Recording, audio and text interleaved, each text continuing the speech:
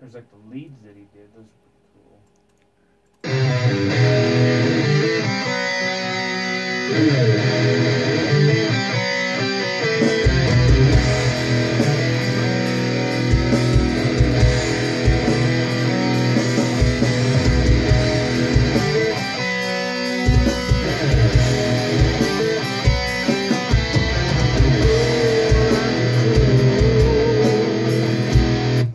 little loud in the mix, but Mm-hmm. it gets the point across.